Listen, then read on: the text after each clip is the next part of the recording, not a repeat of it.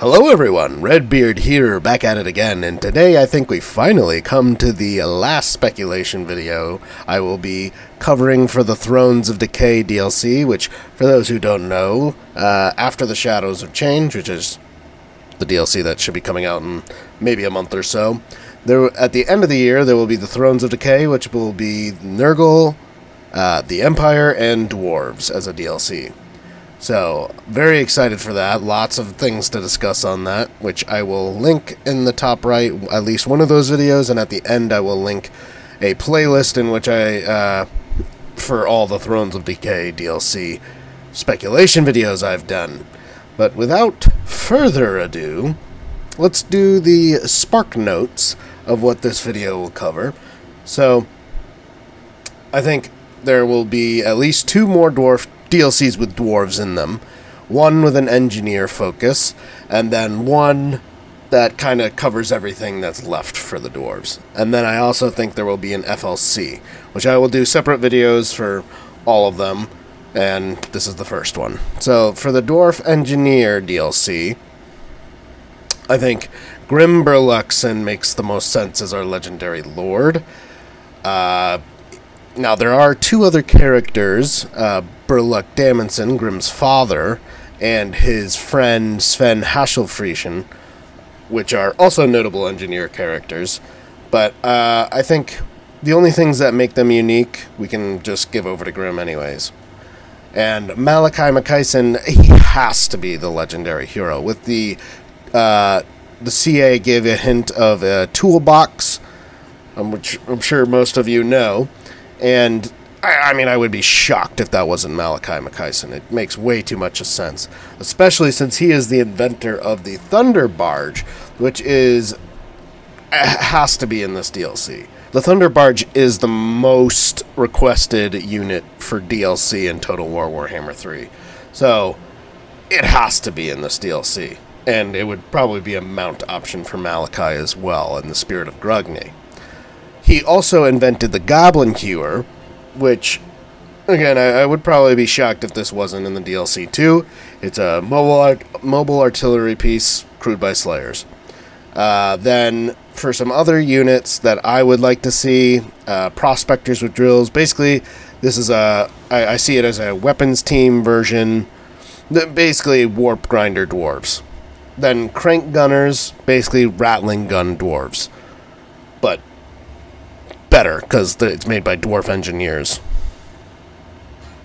Uh, and then the Juggernaut is an old hammer unit. I would just really love to see a dwarves get a, a ground war machine besides the Goblin Hewer. That's got, got they should have some sort of like steam tank, I believe. Also, it would make sense if we got a unit uh, like a blunderbuss unit, kind of like the Chaos Dwarves have, because Grim Burloksson has his Grudgeraker. So getting a unit of Grudgerakers of some sort, and then also getting a some kind of unit with pistols, maybe Drake Fire pistols, would also make a lot of sense. So now let's dive into the depths of the details with units first. The Dwarf Thunder Barge class of lighter than air warships hasn't quite been perfected yet, but that doesn't stop a few intrepid dwarf engineers from taking to the skies. The bomb racks, cannons, and swivel guns of the amazing flying machine can wreak devastation on enemy battle lines. Fortunately for enemies of the dwarves, few of the thunder barges have ever been constructed, and it is hard to find engineers insane or inebriated enough to fly such dangerous constructions.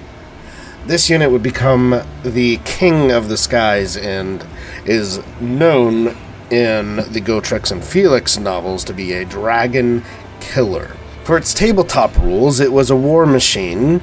It had 10 dwarf crew members, for its special rules, it was unbreakable, a large target, had magic resistance of 3, ward save plus 6, and hover. It was a high flyer, the Thunder Barge being only attacked by flying units. So in Total War, this means it would act just in the same way that sky junks and other war balloons would.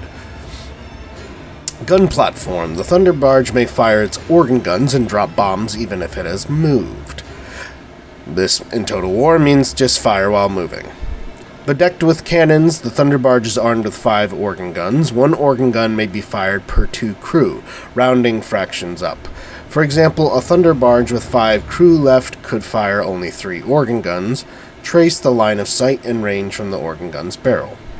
Bombs away. The Thunder Barge is fitted with racks of bombs, and the crew are skilled at using the momentum of the Thunder Barge to lob the bombs at targets on the ground that lie near to their flight path. One Thunder Bomb can be launched each turn, following the rules for firing a stone thrower, and using the following profile. The range of the attack can be measured from any point on the Thunder Barge's base.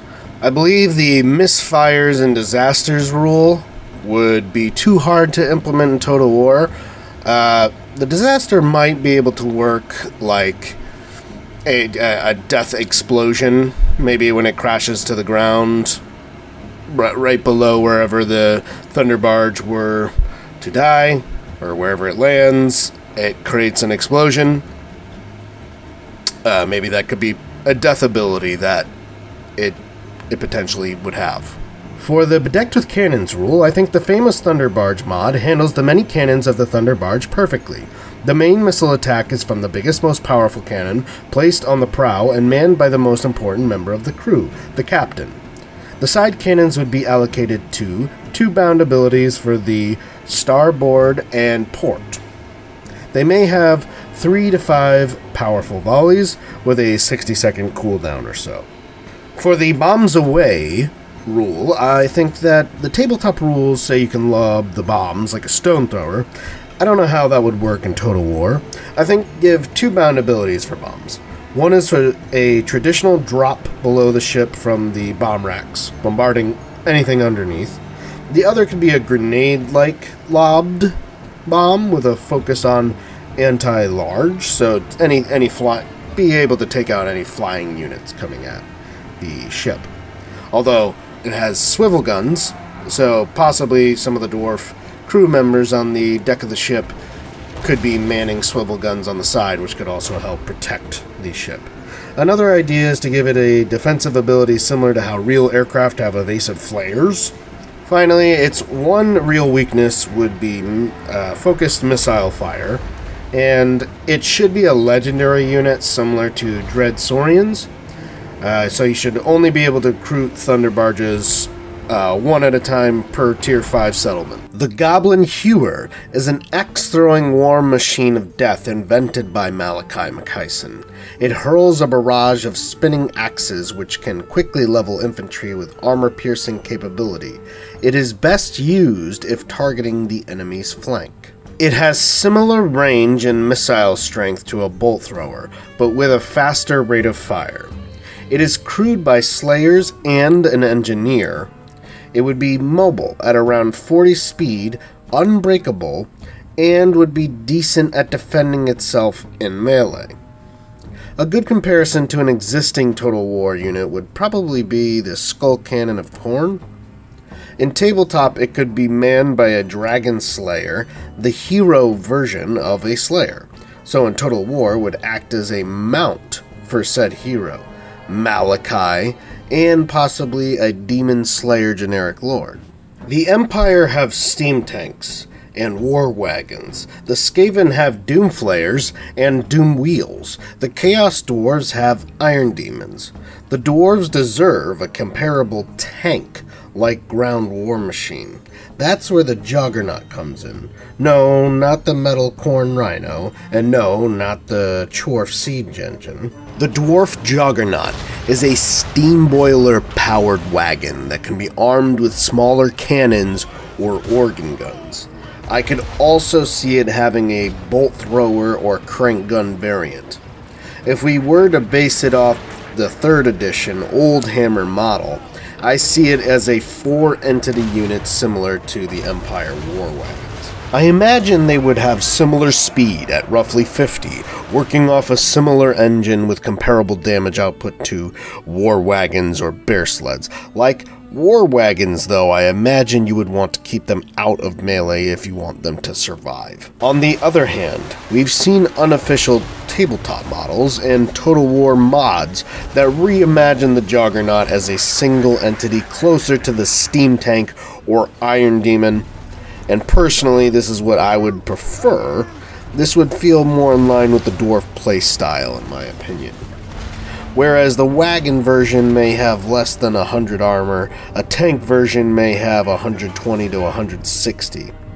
It would be unbreakable, never routing. It would also be more capable of, or at least defending itself with steam blasts or battering animations, or perhaps even from crew throwing blasting charges out of murder holes.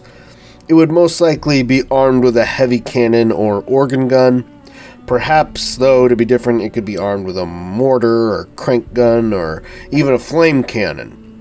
Whether wagon or tank, I think the Juggernaut could be a great mount for legendary or generic lord or heroes who are engineers.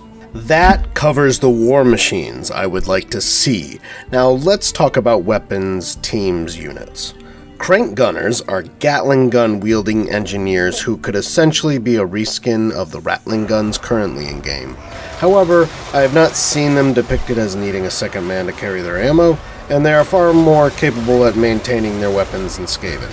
Overall, the Crank gun should feel very similar to rattling guns, but perhaps have slightly less damage but slightly more range. Uh, a great DPS unit with the suppressing contact effect which is the king of volume of fire units. Crank gunners would be engineers in their own right, and I would love for this to be explored through bound and or passive abilities. Perhaps they have an aura that grants nearby allies increased reload skill, accuracy, or range. Perhaps they have the dig in ability giving increased range to themselves if they stand still for a minute. Maybe they could have the two uses of more ammo to replenish themselves or allies. Maybe they could even spawn defensive stakes, though we haven't seen those in Total War yet. They are popular in mods, though. We could make those vanilla.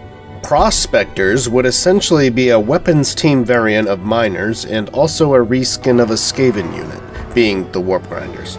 I see them having comparable stats to Warp Grinders and being armor piercing with Vanguard deployment and can attack walls.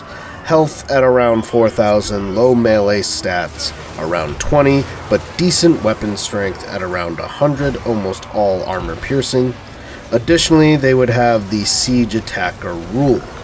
They may also have a similar bound ability as Warp Quake or Seismic Snare, which may slow, immobilize, or even damage enemies caught in its radius. On the other hand, I see them being more comparable to miner stats in that they would have 80 armor, 68 leadership, and 28 speed. I would also like it if they had an ability that represented their ability to tunnel. The mod I'm now showing gives them essentially this in a teleport. Unfortunately, in the mod, it does the teleport instantly at seemingly unlimited range across the map. I think this ability would be a great utility piece in your army strategy, but would need a limited range, say 200 meters, and possibly have the unit disappear for 30 seconds. Before they appear at the location you choose, additionally, it would probably have a 90 second cooldown. Briefly, I want to mention dwarf snipers. It has been much requested that dwarves get a long-range marksman unit, which to be fair, the, if the Skaven, Cathay, and the Empire have the technology to have sniper rifles, the dwarves definitely could as well. Whether it would essentially be a reskin of Jezzail's, like the Crank Gunners, or perhaps a variant of Bugman's Rangers, I will explore more in a future video. So everything I've talked about so far with war machines and weapons teams feels like new DLC units. The infantry variants we'll talk of now feel more like they should be FLC that I just hope could also make it in. First, a unit based off Grim Burloksson's invention, the Grudge Raker. Essentially, these would be a Thunderer variant that acts like a reskin of the Chaos Dwarf Blunderbuss, though the Grudge Raker may shoot two volleys, but ultimately have the same range and damage output. Otherwise, very similar with 80 armor, shields, and a 20 to 30 melee stat range. Beyond that, there are three pistol variants that could make their way into the game foremost, I believe, is Slayers with gunpowder pistols, also known as Slayer Pirates. I think the Slayer part of the roster needs some serious love, especially for Ungrim campaigns, but would also make the random Slayer spawn pool more interesting for all dwarves. Goblin Hewers for an arty war machine, Slayer Pirates for a ranged skirmish infantry, Doom Seekers for an aspiring champion, Dragon Slayers for a generic hero, and maybe even a Demon Slayer for a generic lord. I'll talk more on this later and in future videos. For now, Slayer Pirates would almost exactly be your standard Slayers stat-wise, meets Free Company Militia. Their melee stats and weapon strength would be slightly less than Slayers, with exactly the same missile stats as Free Company. A final note perhaps they could be named Slayers with pistols, and be skinned as such, and Slayer Pirates could be a whole other reskin for Aranessa or the Dogs of War race pack in the future. On to the next variant, I would love to see Iron Drakes and potentially Lord variants wielding Drakefire pistols. These pistols essentially are a slightly longer range, more focused shot of the Drake gun flamethrower we know and love.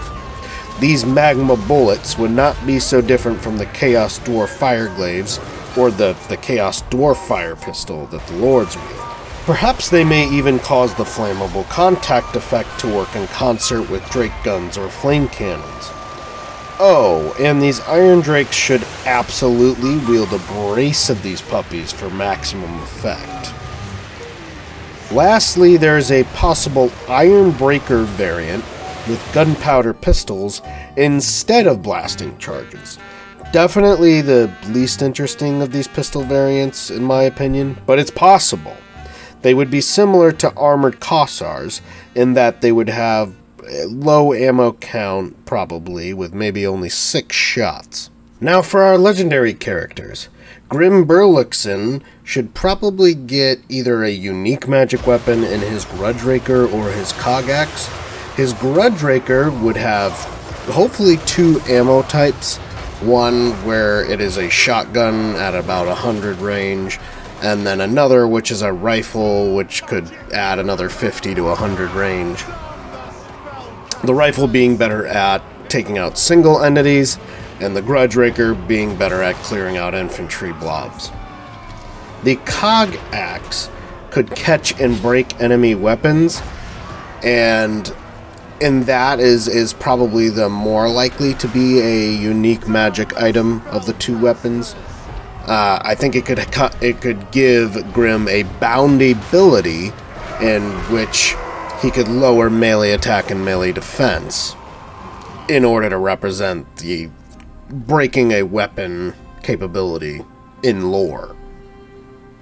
Because obviously you can't you can't break a enemy's weapon in Total War. That just doesn't work. I think he should inherit his father's bionic arm, which will raise his weapon strength to be quote unquote unsurpassed. So that means, I, mean, I don't know if he should break the weapon, or, you know, top the weapon strength of Grombrindal, or Thorgrim, or even, or Ungrim.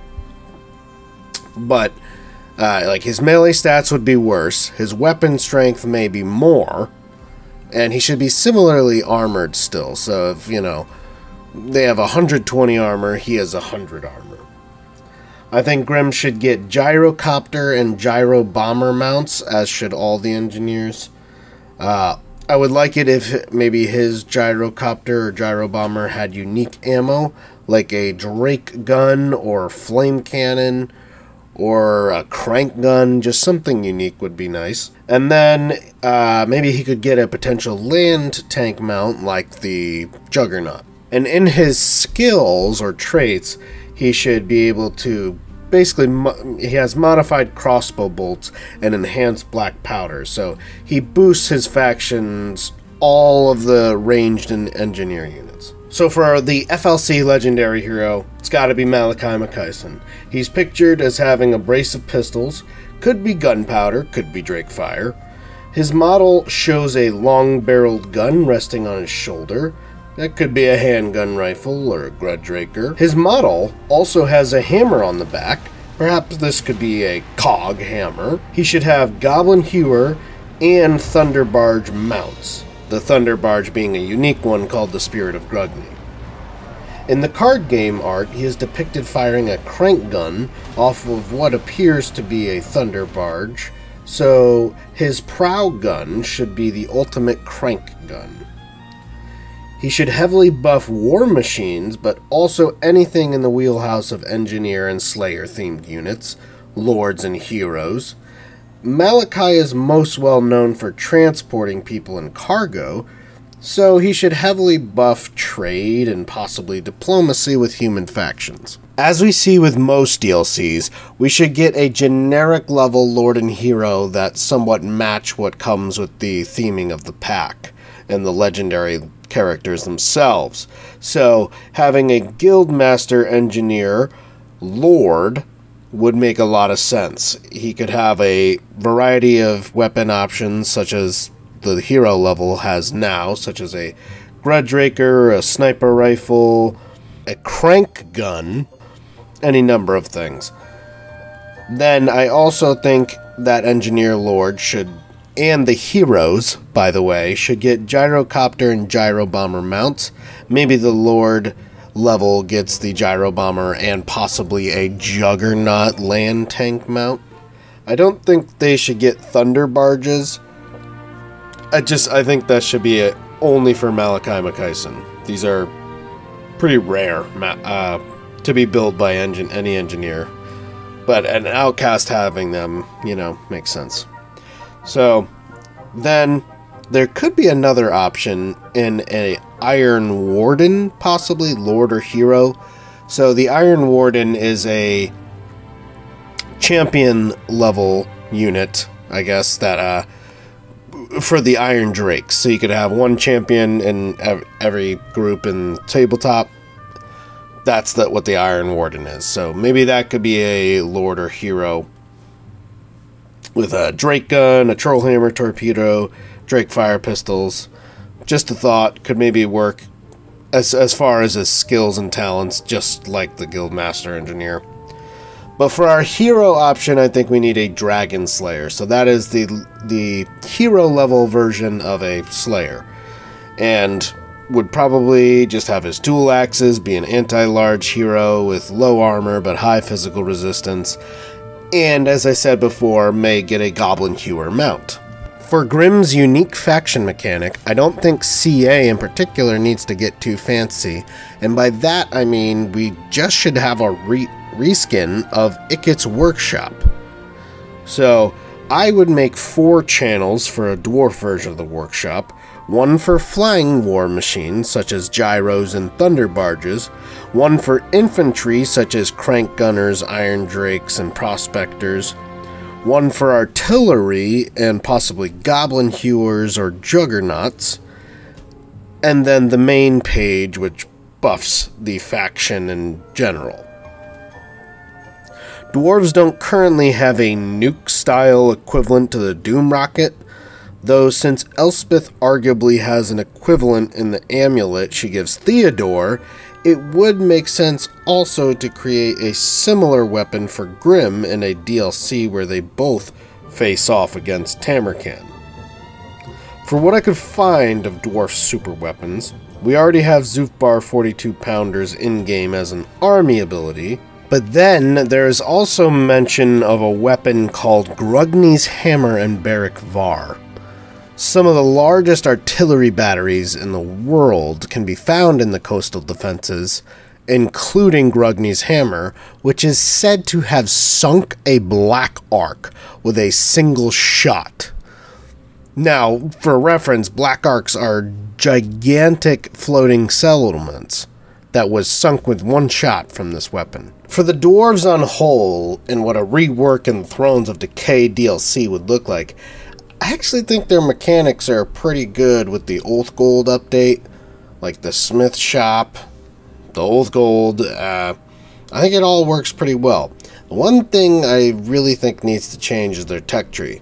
Now, the tech tree itself is really good, but it's also very big and it's all on one page. I think you need to split the tech tree into three, like the Chaos Dwarves, for quality of life. Now for a quick review of starting positions. I think the city of Zufbar in the province of Blackwater for Grim Burloksson, and the city of Nuln in the province of Wissenland for Elspeth von Draken would be the most loreful start positions thematically, but Karl Franz is in Reikland right next door to Elspeth in that case, and then Grim would be right in between Ungrim and Thorgrim, so these probably, in all actuality, don't make sense.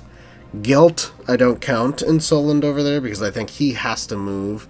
Uh, Tilea, probably being my best alternative for Gelt as to where to go.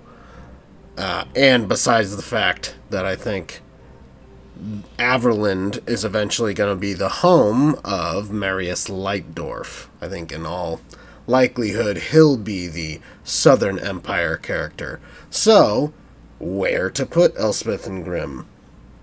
So there's Karak Azorn in the Mountains of Mourn, which could make for a great start position for Grim. This puts him in contest with ogres and chaos dwarves. Being the engineer character, I think this is great. On the other hand, he could potentially, in the uh, frame of Sven Hasselfriesian, make a voyage on down to Lustria, and that could be a very different start position for a dwarf. Personally, I like him closer to the World's Edge Mountains, and I think the Mountains of Mourn is at least in the proximity you know, that way, for a long campaign victory, maybe you have to eventually reclaim Zufbar, and in that case, you know, it's much more obtainable.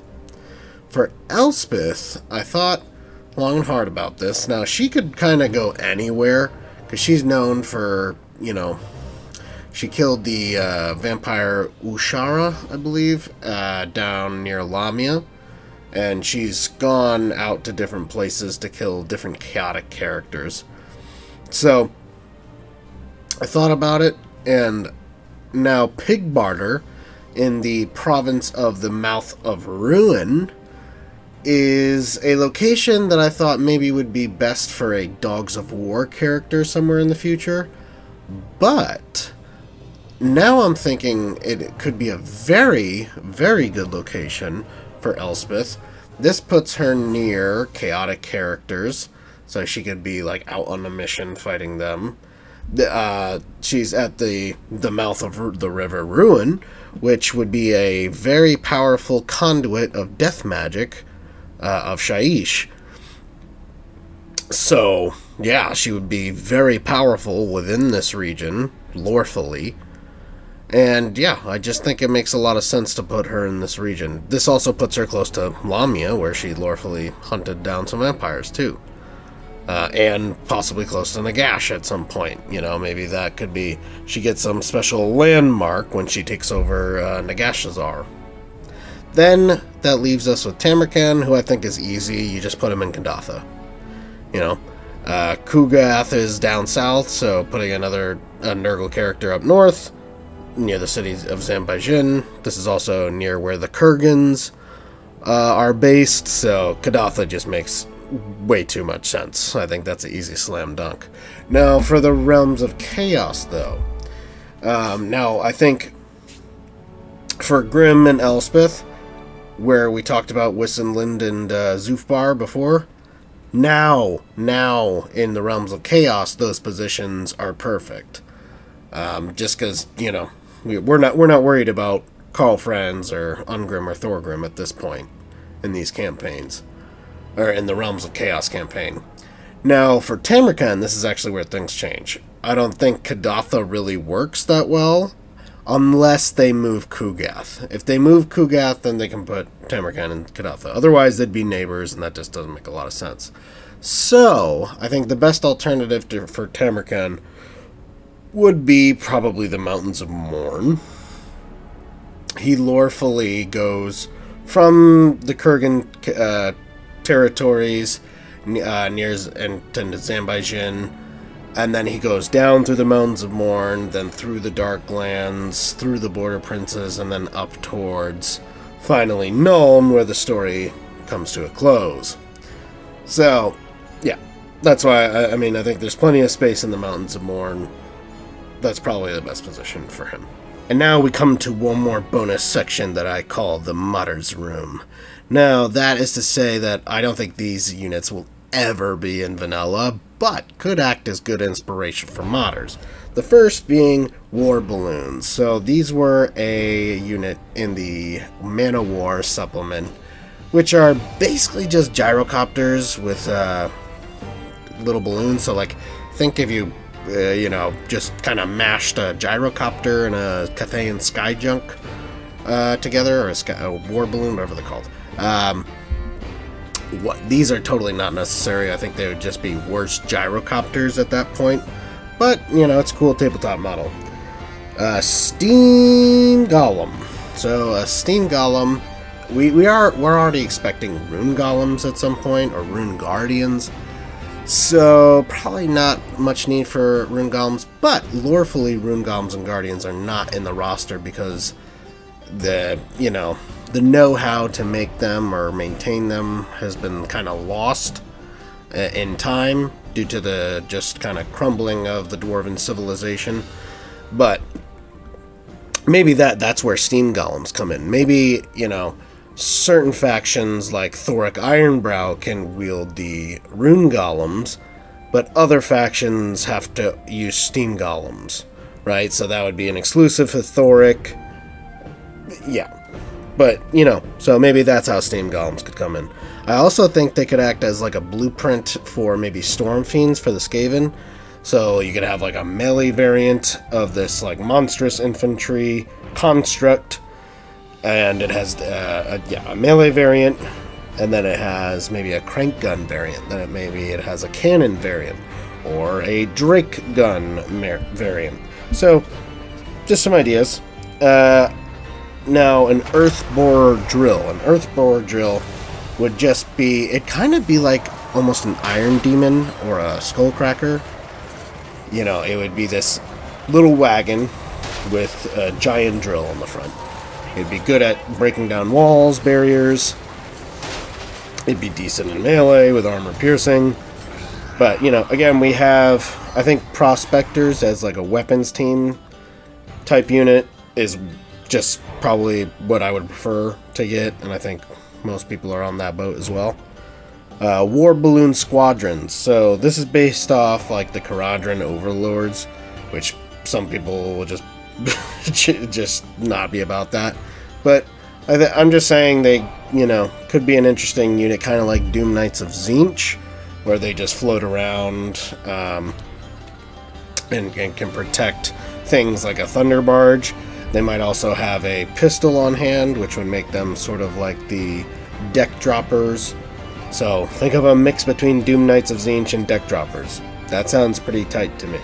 Now there was a supplement called Mad Inventions that gave us a couple possible ideas for units. Again, not not something I see coming to vanilla. The Helior detonation device. The real reason this won't ever come is because it is OP. Okay, so basically think of a bloated corpse a unit you send into melee, it can blow up and wipe out entire units, right? Now, think of an RC car with a bomb on it, and then house it in armor plating. Yeah, that's OP, right? Because the one weakness of the bloated corpse is that it can get shot to hell before it makes it there, and then it's just a waste of a unit at that point, right?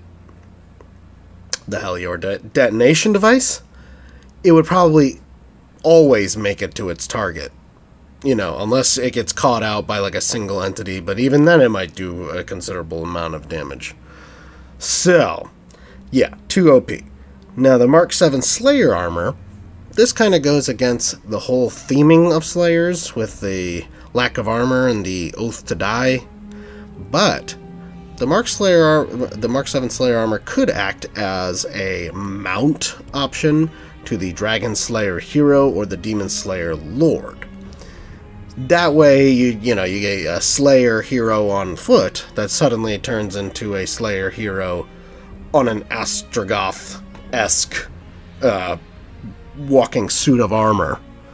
So, that could act as a good mount, I, I suppose, for a Slayer hero or Lord. Or Malakai.